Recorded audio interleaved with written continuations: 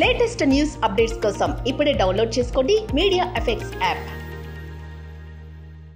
Bhaag Milkha Bhaag చిత్రంలోని ఓ రంగ్రేస్ పాటకు ఓ యువతి ఆఫీస్ మీటింగ్లో డాన్స్ చేసిన వీడియో ప్రస్తుతం సోషల్ మీడియాలో వైరల్ అవుతోంది.